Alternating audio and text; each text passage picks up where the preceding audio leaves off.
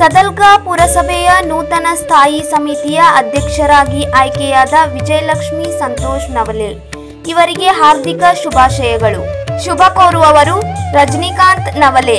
ಕಾರ್ಯದರ್ಶಿ ಅಶೋಕ್ ಸಾಮ್ರಾಟ್ ಸೊಸೈಟಿ. ನಾಗರಾಳ್ ಹಾಗೂ ಸಂಚಾಲಕರು ಜೈ ಕಿಸಾನ್ ಫೈನಾನ್ಸ್ ಬೈನಾಕ್ವಾಡಿ.